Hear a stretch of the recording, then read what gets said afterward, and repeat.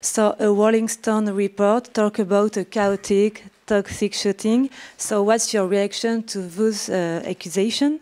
When my, when my wife read me the article, I looked at her and I just, I just said, I think we're about to have the biggest show of the summer.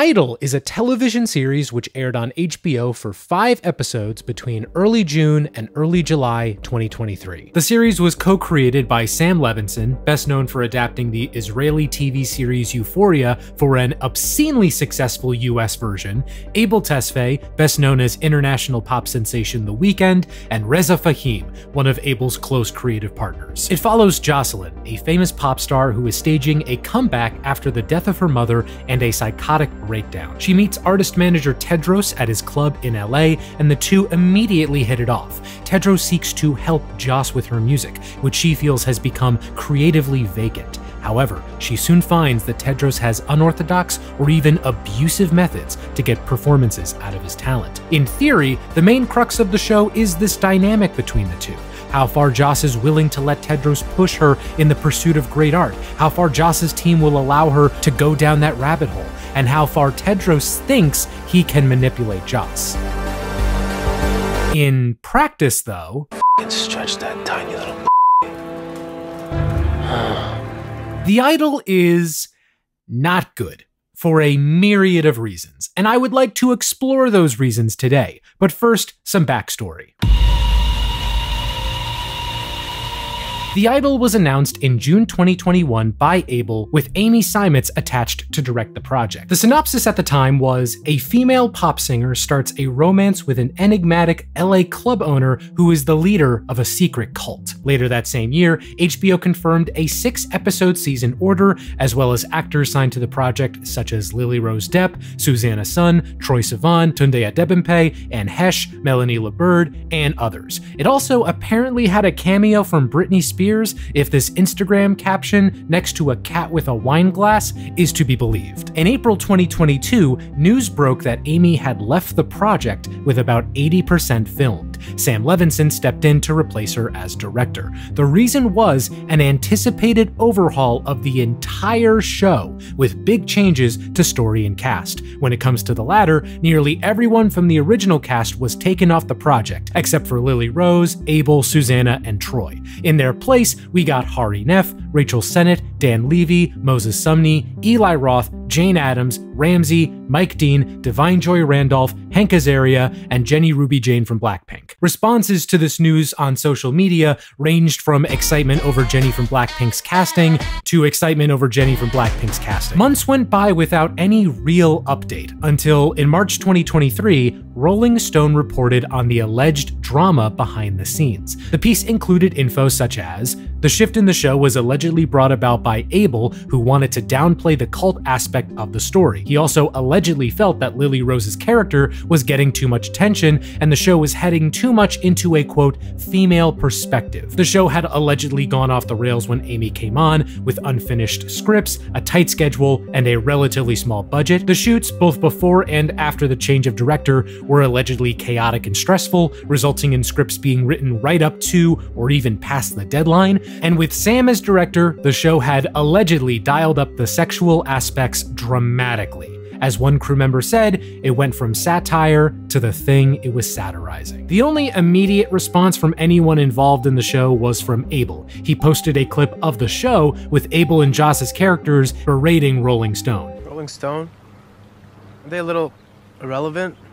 It's a cover It's a heritage brand. I think it's fail safe. Yeah, I don't know. I feel like it might be kind of past its prime. You know what I mean? Yeah, nobody cares about Rolling Stone. I've read other things about the reshoots, but at that point, I would just be playing Dumois Detective and taking unverified Reddit comments as hard proof, and that's not fair to anyone involved in the show or my own standards of quality. So let's move on. With that context in mind, let me start this off by saying that I was actually pretty excited for The Idol. The cast was full of people who had been involved in things that I personally enjoy. The trailers looked pretty good. I'm always interested in checking out films or TV shows that are about music or the music business or just the general creative process. The last big one I can think of was um Atlanta, which is a phenomenal show, one of my favorites of the past decade. You should check it out if you haven't seen it. Plus, it's especially not often that we get a show that is essentially a vehicle for a pop star. It reminded me of the days when Prince could make Purple Rain or Pink Floyd could make The Wall. The only comparable projects I could think of in recent years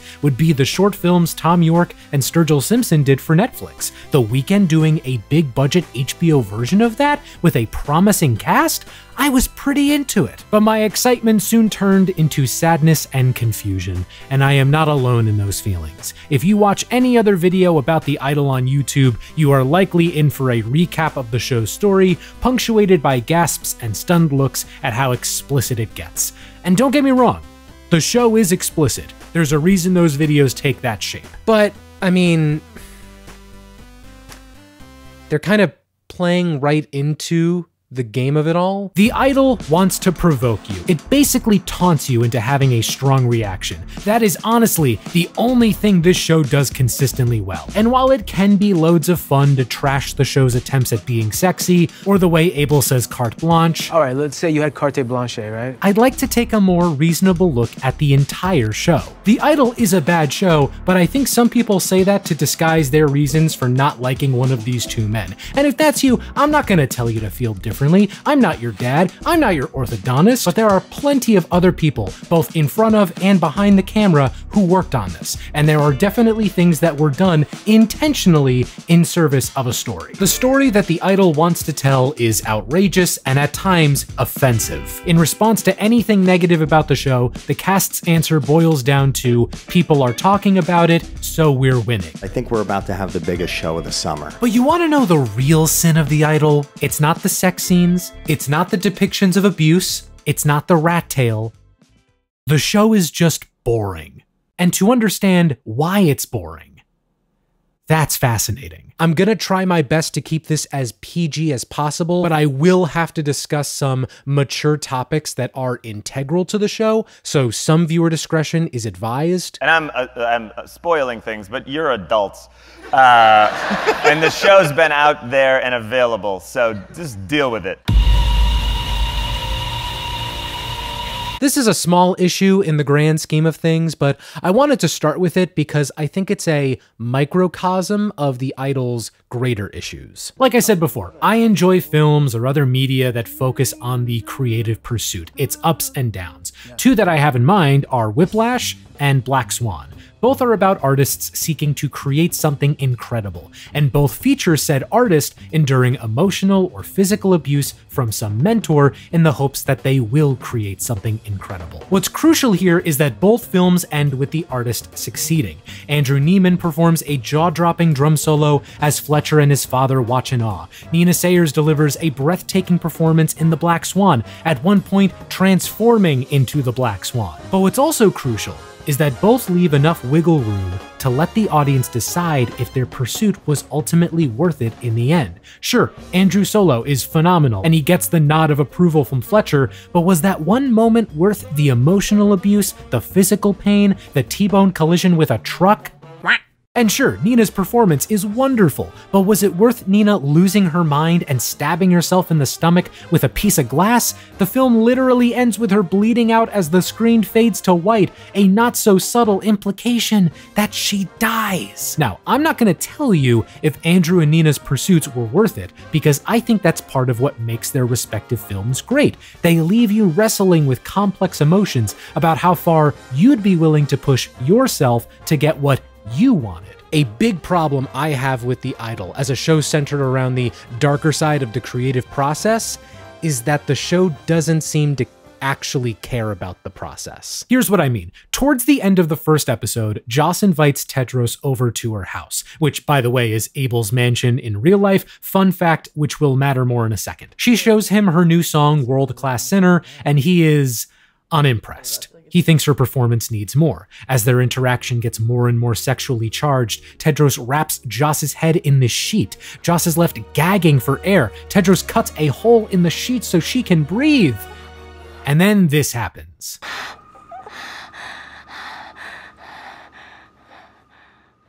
Now you can sing.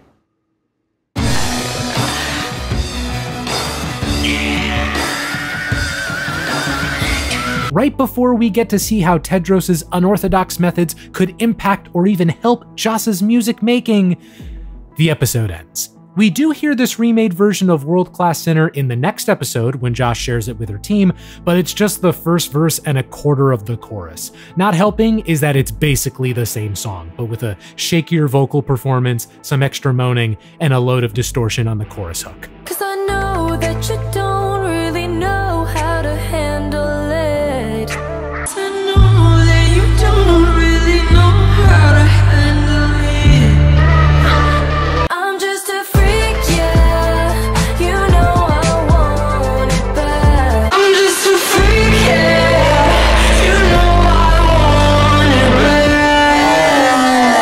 This is more or less how the show will proceed. Instead of showing you the creative process, the journey that Joss and some of these other characters go on to create great art, the show will simply tell you that they're making great art. Or it'll cut to Joss and Tedros having sex.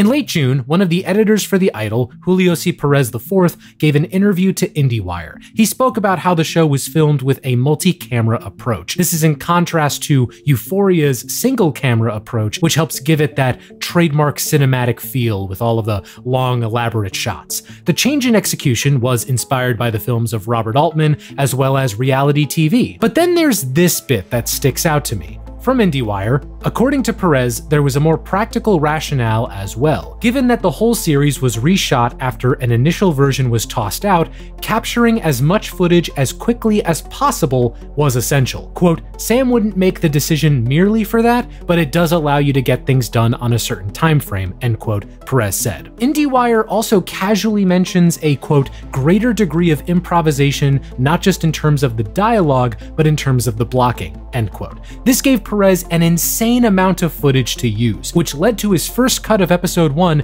being an hour and 45 minutes. This was then cut down with the help of the show's additional editors. So, with that in mind, I have a theory. Imagine yourself as Sam Levinson. You and your creative partner, Mr. Weeknd, decide to scrap the first pass of your new TV show, one that was 80% filmed.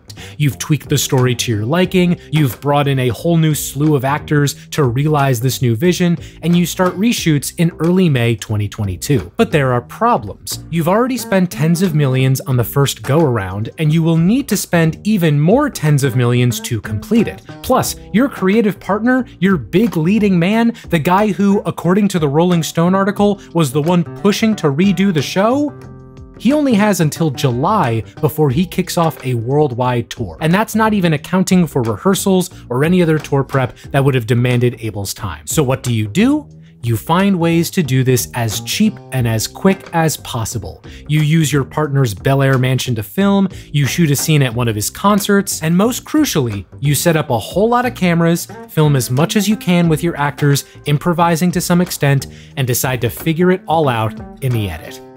Again, that's just my theory. If any of that is true, then it explains a lot. It explains the show's occasionally great moments where the cast's synergy feels effortless. It explains the aimless moments that feel unimportant to the overall story. But at the same time, if any of that is true, then it makes it really difficult to say what parts of the show are the result of the writing or the editing. What was written down? What was improvised? What was written or improvised but left on the cutting room floor? We will likely never know unless a shooting script leaks online. So for the purposes of this discussion, I'm going to lump the writing and the editing together as this ever shifting vortex. There's a sequence in episode 3 that really stands out to me. As Jocelyn and Tedros are shopping, Joss's assistant Leia is outside the store on the phone with her managers, Haim and Destiny. At one point in their conversation, Leia mentions how Tedros fired Joss's chef. I'm, I'm sitting in the kitchen, I'm talking to Andreas. He just walks in and he fires him. Another 15 seconds of conversation go by.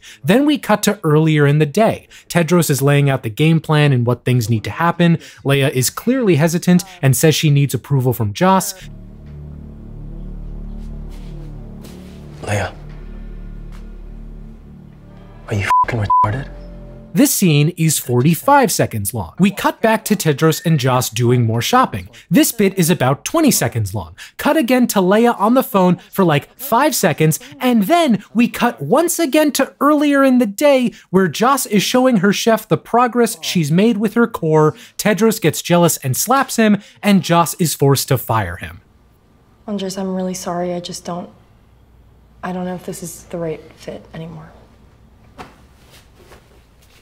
I know there's some debate around the idea of show, don't tell, but I would love to know where everybody stands on tell, show something similar, go back to telling, and then finally show the thing you already told us a minute ago. It's so difficult to pin down what went wrong with this sequence. Did Rachel Sennett improvise the line about the chef being fired? Because if that wasn't there, I don't think I'd mind this sequence as much. Was this meant to show Tedros's tightening control over the house? Because the editors did that with the scene before so they didn't need another scene with the chef. Was the chef's firing meant to have more emotional weight behind it? He's not a big character. We only see him once before this during a montage with Joss, and he does not come up again for the rest of the show. I just don't get the point of this, of why you would stumble over yourself multiple times, all just to deliver a very unimportant detail. Not helping the show's pace is the total of just five episodes for this whole story to happen. Now, let me clear up a misconception. The reveal at the end of episode 4 that the next episode would be the season finale had a lot of people surprised. This led to some theories that the season was cut short due to low ratings or terrible reviews. But that was not true. I mean, the low ratings and terrible reviews were true, but as further research would show, The Idol was indeed planned to have just five episodes after the creative overhaul. I'm aware that this show was only intended to have five episodes. Personally, though, I think it could have used six, or more, even. Let's take some time to talk about the cast of The Idol, or rather, everybody in the cast except for Lily Rose and Abel, because they need their own sections. I actually really like the ensemble cast of The Idol. Not only do I think they do relatively well with the material they're given, but they represent a potential version of The Idol that could have been genuinely great. The first half of episode 1 is the best proof of what this show could have been. While Joss is doing the photo shoot for her big new single, World Class Sinner, her team deals with a, an intimacy coordinator doing his job, whom Chaim locks in a bathroom, and B, a photo of Joss with Oreo fluff on her face spreading online. It is a comedy of errors performed by a confederacy of dunces. It feels like the characters are just naturally bouncing off each other and it's pretty good. Troye Sivan is good as Joss's creative director and good friend Xander. Out of all the people in Joss's posse, her Jossie, I think Xander gets the most fleshing out. He was on the same show as Joss, but due to complicated reasons, he doesn't sing much anymore. Jane Adams gets some time to relish as Nikki, this terrible music executive. Between this and Atlanta, I'd love to see her as the main character in a music industry focused show. I'm gonna make sure that you die homeless. Eli Roth does great work as this sleazy Live Nation executive. Hari Nef is a Vanity Fair reporter doing a profile Oh, we do profiles. on Joss. She's fine. Rachel Come on, it's LA. What? it's a leg. Sennett is Joss's best friend and assistant, and she's responsible for some of the show's funniest bits. He's a, he's he's a person of color. Yeah. Are you saying he's black? You can say black. You're allowed to say black. Is he black? Yes. Okay, he's a black guy. Dan Levy is phenomenal. As Joss's publicist, he gets to deliver A1 lines like, We've subpoenaed Reddit. and But you are a champion of women. no, I, I'm not being sarcastic. I'm trying to draw the connection. We follow each other on Twitter. I see the links that you post. Yeah. And then you're linking to this photo. It's a shame he's only in the first episode, which, by the way, that scene that Abel posted in response to the Rolling Stone article, not in the final show. Da'Vine Joy Randolph and Hank Azaria are great as Destiny and Haim, Joss's managers. They clearly have a lot of chemistry together, and they both get moments to show that they do care for Joss. However, as the show goes on, most of these actors are pushed to the side to bring in Tedros' cult. Rachel Sennett definitely gets the shortest end of the stick. Her whole purpose becomes looking concerned and being verbally abused by everyone. Leia, please, just for like for like a minute, just one minute, just one. Really important. Relax, I know. You're so annoying. Can wait, we can just play this. Leia, shut the f up, Leia. Isaac is played by Moses Sumney, who, if you don't know, has an incredible singing voice. Go check out his record Gray. It's a phenomenal record. He was found by Tedros while singing in church. He gets a few good moments to use that voice and to build a wee little relationship with Leia. He also has these lines in episode 2 when he officially meets Joss. Do you mind if I use your bathroom? Yeah, of course. There's one I'll right. find it. Like, that's his excuse to go find Leia, but I also like the idea that Isaac is just gifted at sensing the presence of bathrooms. Suzanna Son plays Chloe. She also has a good voice and gets multiple songs to show it off. She was a drug addict living on the street before Tedros found her. In that same scene where Isaac uses his bathroom senses, Chloe strips naked within three sentences. Also, in episode 4, it's implied that she is underage. How old are you, Chloe? So, or 18. Mm-hmm. Like, I told myself I wasn't going to get sidetracked by the show's gratuitous nudity, but what's the point of this? Why have your character stripped down almost immediately after being introduced and then reveal that she's underage? It makes going back to episode two kind of weird and really off putting, but for like no reason whatsoever. Like, what's. Wh- Why? Why? There's also Mitch and Ramsey, who I'm pretty sure don't actually get introductions and do not add anything to the show. Mitch's lack of relevance is weird because in episodes 1 and 5, we get these dramatic close ups of his Life is War tattoo. Plus, at one point, he is shown to have a gun, and yet the most menacing action he takes in the whole show is awkwardly dancing with Leia. Mike Dean comes in for episodes 4 and 5 to play Mike Dean. The show introduces him stepping out of a car in slow mo, ripping a bong in the same hand he's holding a blunt. Best character in the whole show. Oh, wait, how could I forget? Jennie Ruby Jane from Blackpink. Oh, I know how I could forget. She's barely in this. Jennie plays Diane, a backup dancer for Joss who gets scouted by Nikki when Joss has a meltdown on set in episode 2. She has her own little side story about taking Joss's big comeback single for herself, which amounts to absolutely nothing by the end. She's also secretly one of Tedros's cult members, and the scene where that is revealed is responsible for the two worst lines of dialogue in the entire show. So, she a better f- than me? Baby, nobody's a better f- than you. So, comma, is she a better f- than me? Question mark. Baby, comma, nobody's a better f- than you, period. This show took the Sunday night time slot that Succession used to have. Also, real quick, what is Diane's hang up here? You said it would be good for the club.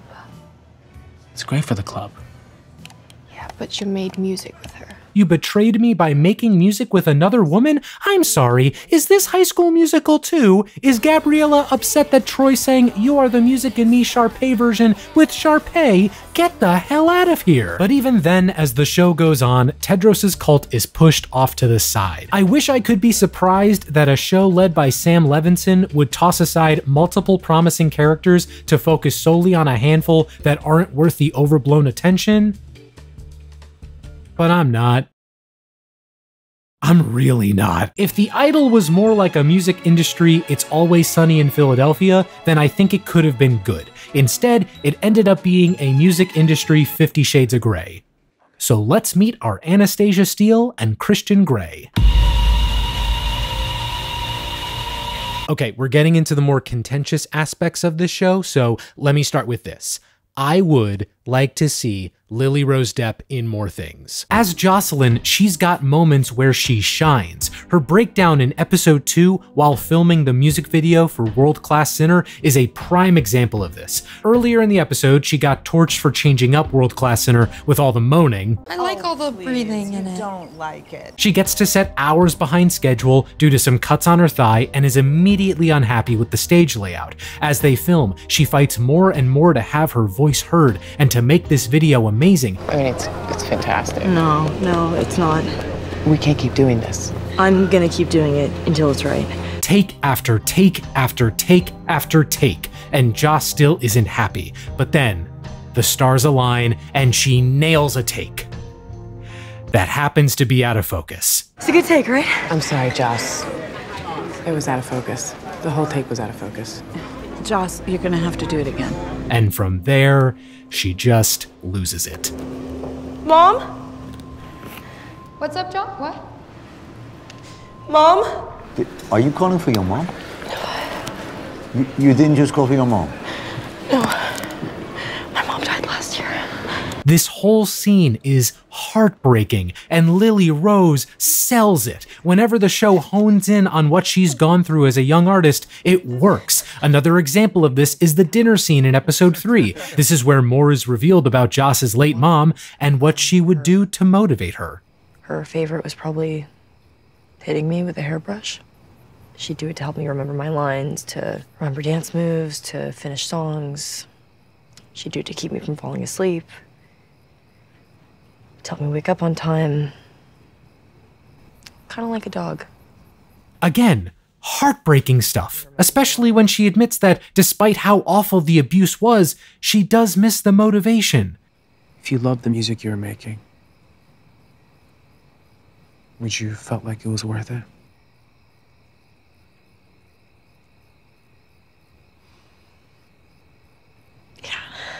Granted, the show kind of butchers this by following it up with a musical montage where Tedros beats Joss with that hairbrush to get the motivation back, and she thanks him for helping her heal. Thank you for taking care.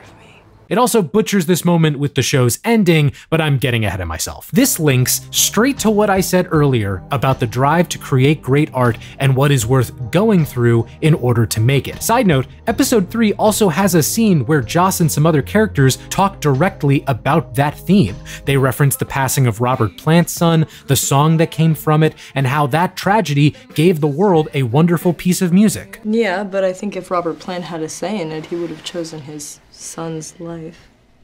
And that'd be a pretty big loss for the world. On one hand, I'm glad the show does touch on that concept. On the other, I would have loved to have seen it communicated through story and character development instead of the characters just telling it at me. Point is, Lily Rose is great in these more emotional scenes.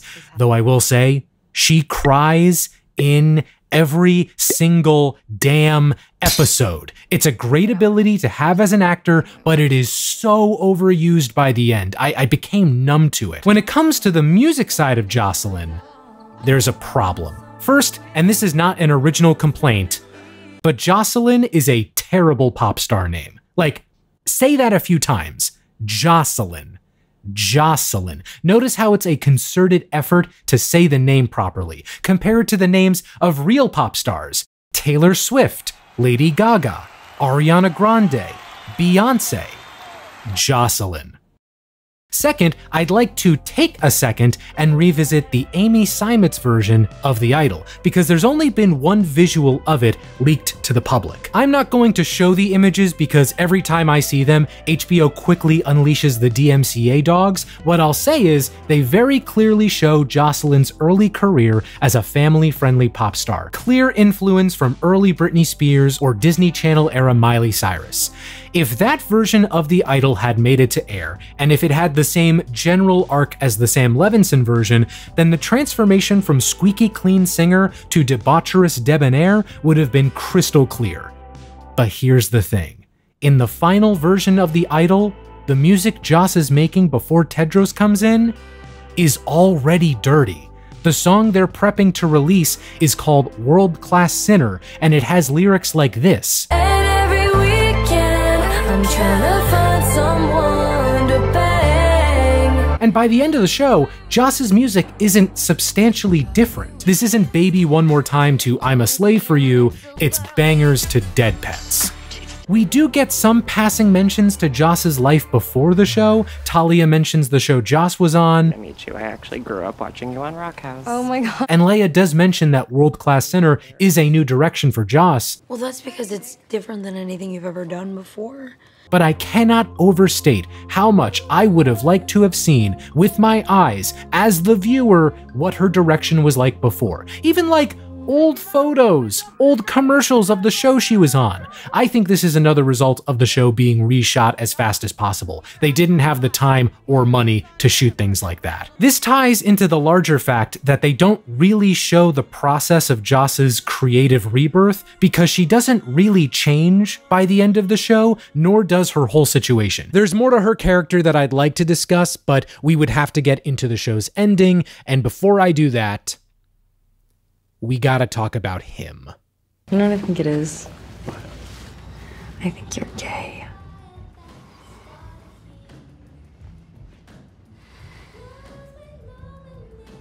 I ain't gay. I'm going to start this section off by speaking directly to Abel Tesfaye. Now, don't get me wrong, I am under no impression that one of the biggest pop stars of our generation has the time or desire to watch any of my videos. However, Abel proved himself to be extremely online for this particular project, so if there were any video of mine he was going to watch, it's probably this one. Hi, Abel. I'm a big fan of your work. I've been following you ever since the Stereogum post about House of Balloons back in 2011. You are responsible for some of this decade's best pop songs. The journey you've taken from anonymous, internet-savvy R&B crooner to world-conquering pop star that even my mom likes has been wild to witness. Plus, I've enjoyed seeing the creative direction that you and your team have taken, not just with the music, but with the visuals as well, specifically on your two most recent albums. Most importantly, in interviews, you've been saying that you're stepping into a new phase of your creative journey and that you're even planning to kill off the Weeknd. The Idol seems to be your first step in that creative transition, and regardless of what anyone is saying about this show, including myself, I want you to know that I'm glad that you're taking risks. I am glad that you are pushing yourself outside of your comfort zone and trying new things. Because the worst thing you could do, both for yourself and for us as an audience, is to hold back, to be creatively stagnant on purpose. I'm a big fan of your work. And your performance as Tedros was bad. This feels like a little extreme. Extreme? You want to know what's extreme? My servitude. My devotion to you.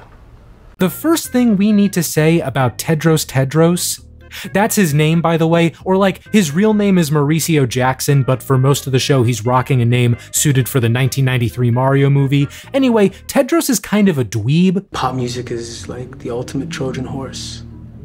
You get people to dance, you get people to sing along. He's out here in episode 1 talking about how pop music is a Trojan horse and how Prince and Donna Summer changed the world. And listen, I don't think he's wrong, but that's the kind of thing that I would say on the YouTube channel where I rant about Crazy Frog and Eiffel 65. The core character, a pop music obsessed pig who just happens to have enough charisma to lead a cult moonlighting as an artist roster, is kinda great. Plus, Abel's job here had the potential to be pretty easy. Like, it's a bit of a catch 22 in Abel's favor. If Abel was genuinely able to bring a creepy energy to Tedros, then mission accomplished. He did a good job acting. Well done. But if he didn't, and his attempts to be creepy just came off as genuinely off putting, then, I mean, he still did it, right? That's the kind of rationale I saw online from people defending Abel's performance. Oh, you thought he was creepy? That was the point. But there's a deeper disconnect here. In an interview with Complex, Abel cited a few inspirations for his performance Eric Roberts in Star 80, James Woods in Casino, Dennis Hopper in Blue Velvet, Harvey Keitel in Taxi Driver. Now, those are all legendary performances worth aspiring to. When you see those characters on screen, even for a brief moment, they own their time. Eric and Dennis in particular, they are simply magnetic. Well, it turns out Abel wanted to put a bit of a spin on that kind of character. In that same complex interview, he says, With someone like Tedros, it should be tough for a lot of actors wanting to play a character like that. I went into it like, why pull the punches? Why take you down a journey and romanticize him? Let's just jump right into it. He's a scumbag. We notice a trend in people being attracted to people playing serial killers and stalkers, and I tried everything in my power to make him as despicable on screen that can make your skin crawl. I wanted to contradict the trope of these characters needing to be charming and attractive to the audience. In other words, the question that was asked when building Tedros was you know these degenerate characters who clearly had sinister values but were still charismatic and captivating and fun to watch? Well, what if that kind of character was not charismatic and not captivating and not fun to watch. We sure found out. Actually, I should give Abel his flowers. Like with most things in this show, episode 1 shows the potential his performance had. He's clearly a slimeball. He approaches Joss's mansion like a damn Sith Lord, he smooches Leia, he ominously plays the piano, he rehearses his hello to Joss in the mirror. Hello, Angel. This kind of character aligns with what Abel was describing, but in a way that's kind of enjoyable to watch. But as the show goes on, Tedros becomes something else. He starts to be treated as a more serious threat to Joss and everyone else. He begins to exert more control over everyone in the mansion, even bringing Xander into his little cult by the end. So, he's not pathetic anymore, right? Because the other characters don't seem to think he's pathetic. They seem concerned about him and Joss. Then, in episode 4, Destiny basically just lays out his entire backstory his real name, his life as a pimp, his time in jail after beating an ex girlfriend. By this point, there's no longer any speculation about what he's capable of. This kind of shift would require Abel to sell it, it would require him to communicate actual intensity. Let me catch you looking at her again. Let me catch you looking at her again. I'm not. Let me catch you looking at her again. I'm sorry, Let I'm me not. fucking catch you looking at her again. I'll fucking drag you down Rodeo while your fucking ass just fucking stomp you. I'll fucking curb stomp I'm you. sorry. I'll fucking curb stomp you. I'm sorry. I don't. I'm not sure what you were interpreting, but Let me see I wasn't it. doing anything. Let me see it. And he just doesn't. Look, I get what Abel was saying about those famously sleazy characters. If they existed in the real world, they would not be fun to watch. They would not be worth emulating in any way. But those characters being both terrible yet mesmerizing is kind of their point. It's media, it's meant to tell a story, take us on a journey, stir up emotions in a safe way. Those characters being poor role models, yet captivating to watch, is supposed to make us feel sympathy for their victims, to understand why Dorothy doesn't just get up and leave Paul Snider, or why Jeffrey doesn't just walk away laughing when Frank Booth yells at him about his choice of beer. What kind of beer do you like? Heineken. Fuck that shit. Pabst Blue Ribbon. Just because I'm watching a show with a bad person doesn't mean I'm gonna go become a bad person. This line of thinking reminds me of the discourse that was popping up around Euphoria's second season. This idea that if some media depicts a morally questionable character or action, then it is endorsing said character or action. In fact, I began to realize something. Despite the sex and the swearing and the slurs, this approach to Tedros is shockingly Puritan, especially since this is from the guy who has sung lyrics like this. You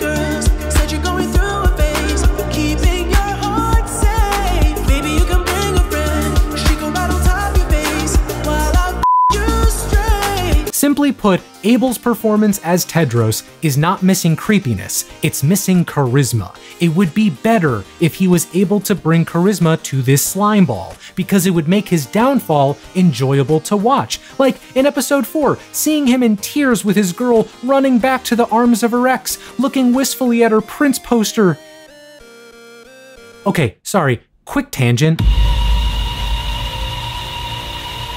When this show was airing back in June, I was working on my Prince video. Have you seen it? It's basically a full length feature film. Bring your family over for movie night, make some popcorn too. I was diving into his discography deeply, learning what made him the legend he was and still is. I don't know why the idol kept mentioning him. Tedros first mentions Prince at the club when he meets Joss. Then he notices the poster in Joss's mansion in episode 2. Then the longing look in episode 4.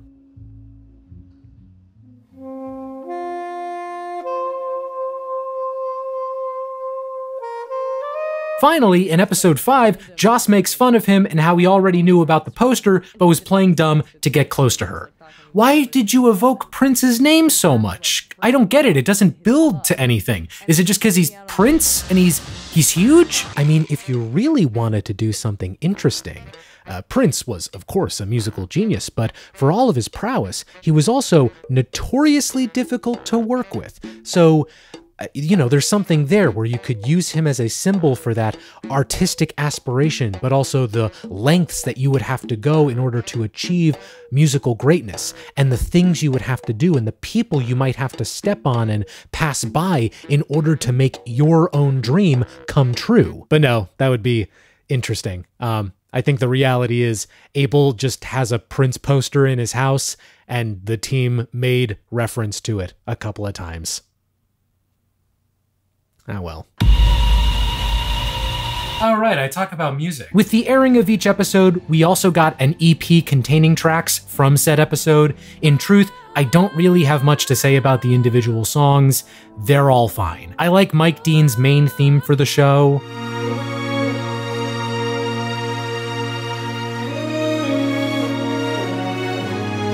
I like the electric guitars wailing throughout the outro on Take Me Back.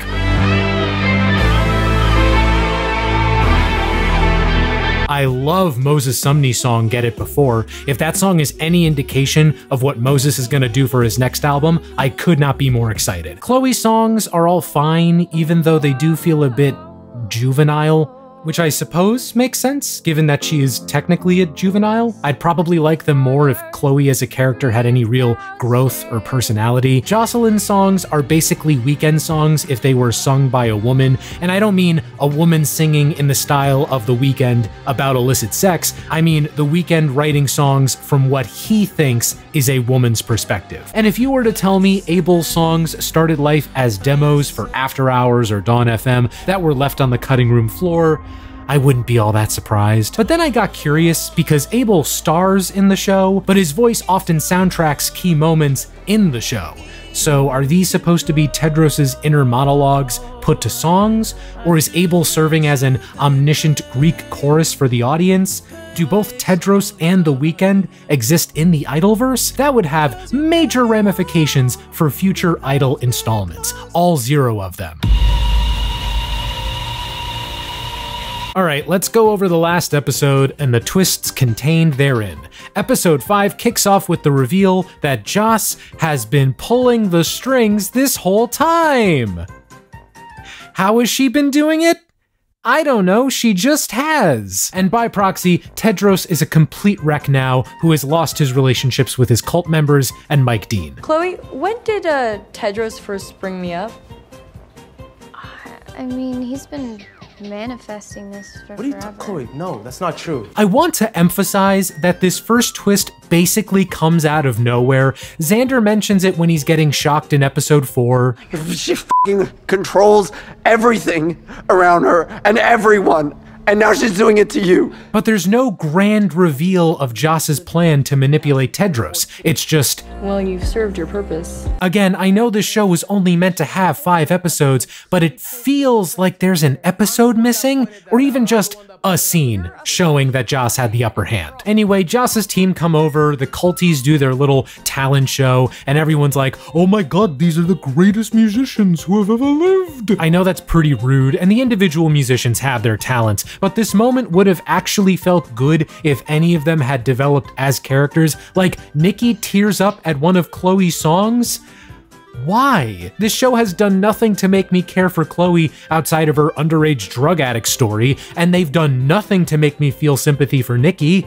Why would this ever work? Meanwhile, Leia is trying to tell Joss about her ex, Rob. I have not fully talked about Rob yet, but here's the lowdown. He had cheated on Joss before the show started. He gets reference in passing once in episode 2. She was cheated on by somebody who loved her. Yeah, heartthrob Rob. When Joss learns that Diane was in cahoots with Tedros to get get her to the club in episode 1, she invites him over as revenge. He enters the house soundtracked by Mike Dean playing Black Sabbath's Paranoid on piano. He and Tedros have some cordial conversation. What are you, a f- Then Joss whisks him away for some fun times. When he leaves, he gets sidetracked by new cult member Xander and one of Tedros's girls. Rob and the girl take a photo, but the girl starts getting way too handsy with him. Rob leaves.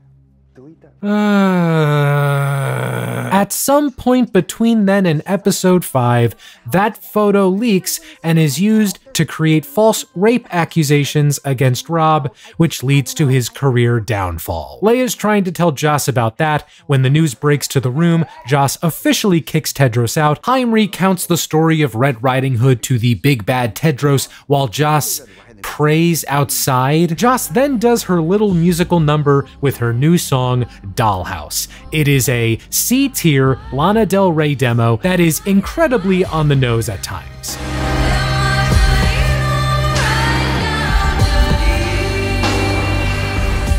I do like the choreography though, but Lily Rose, you mimic pulling an arrow back on a bow at one point, but you release it with the wrong hand. That's poor technique, come on. And then there's the ending. I had two theories on how the show would end. The first was the obvious one Joss kills Tedros. This is supported by the clip of Basic Instinct in episode 1. What happens? She kills him. My second theory was the one that I really wanted to have happen. At the end, it would turn out that Tedros does not exist. He was just a figment of Joss's imagination. This would have been supported by A, Joss having a history of hallucinations, according to Nikki in episode 2. Get a call that you are out of your mind, babbling up on the roof, talking to, uh, things in outer fing space. And B, this one bit in the same episode where Leia is pressured to do coke with the gang, and the edit cuts between Leia being embraced by Tedros to Leia being embraced by Joss. I did not edit that, by the way. That is actually how it happens in the final show. You might be saying, Mike, that twist would make absolutely no sense and would ruin the entire show. To which I say, that is the exact reason why it would have been such a good twist.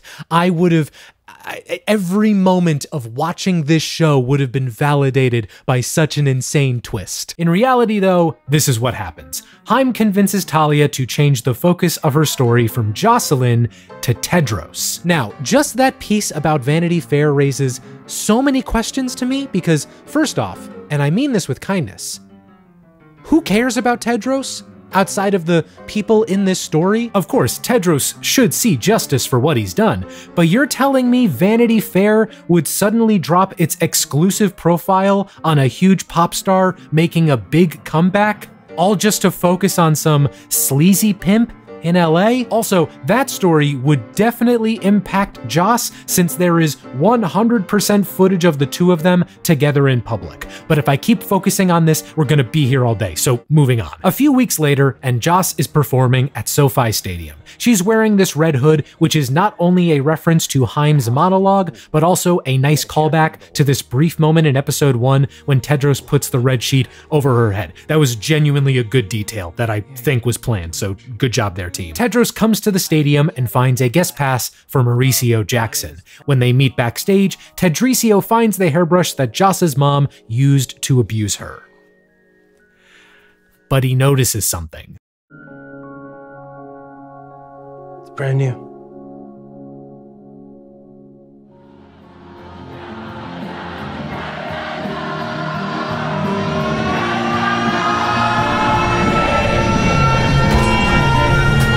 Okay, okay, okay, okay, okay.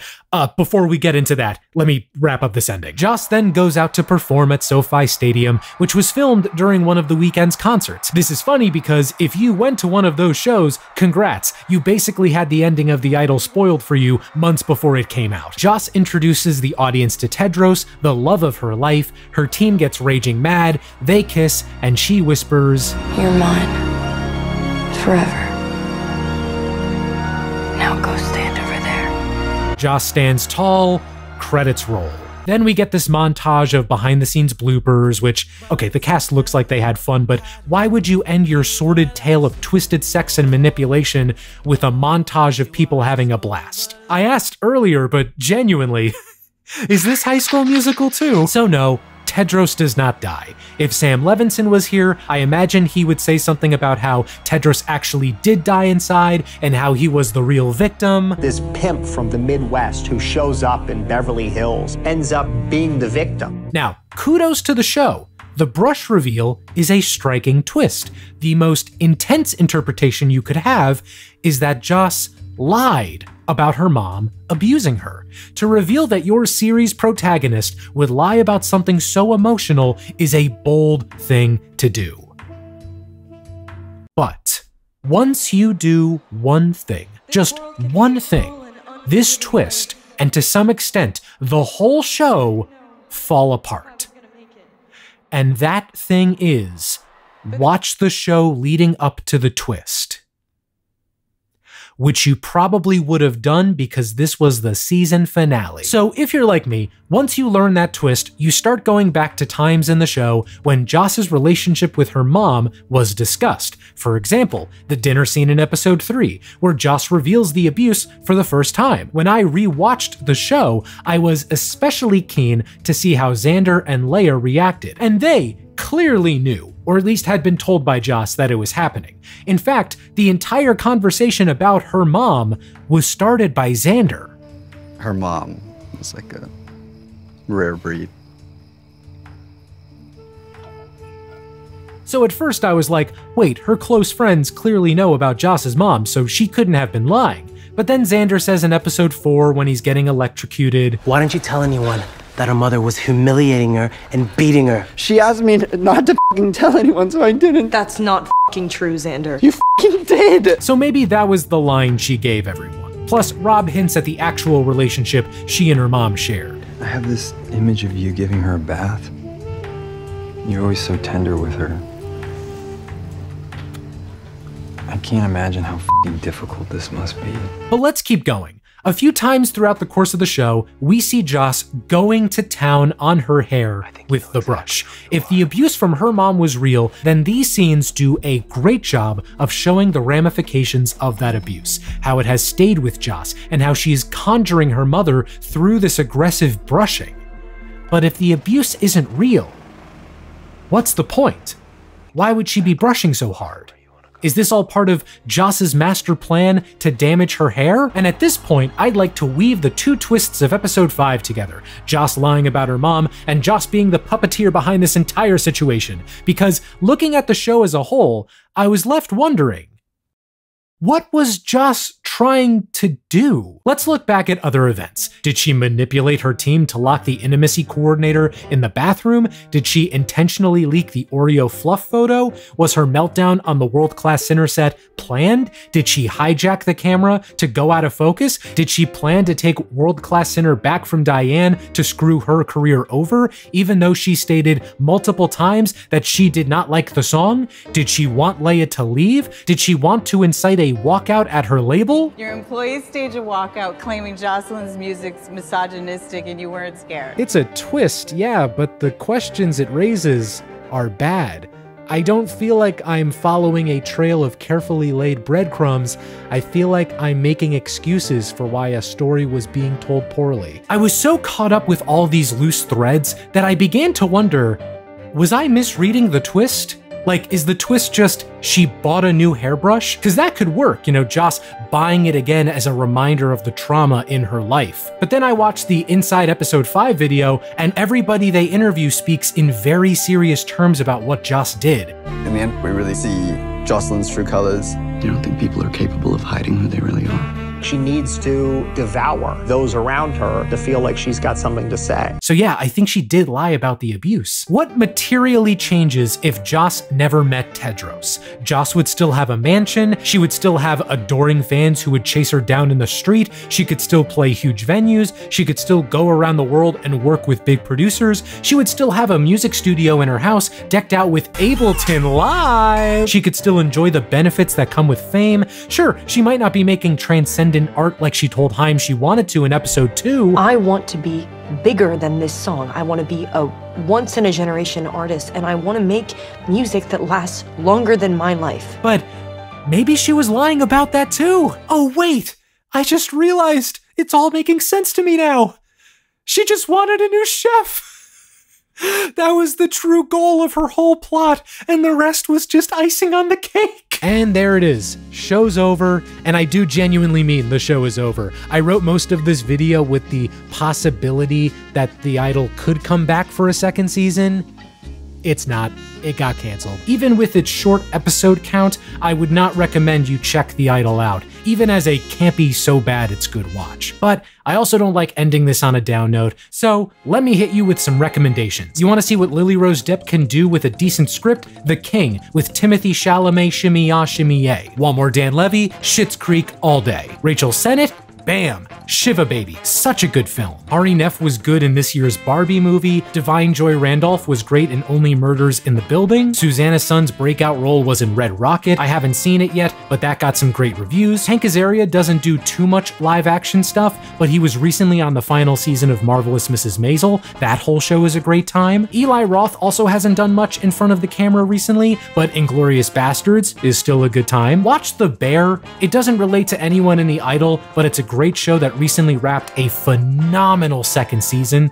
Watch Atlanta 2, shout out Jane Adams, and while we're on the FX train, I've even heard good things about Lil Dicky show Dave, so check that out if that interests you. Hell, if you want to see Sam Levinson at his best, first season of Euphoria, plus its two bonus episodes. They're still very good TV. Listen to Grey, listen to Troye Sivan's new record, stream Blackpink for Clear Skin and a Pure Soul, even go back and listen to Dawn FM and After Hours again. All of these are better ways to spend your time than watching The Idol.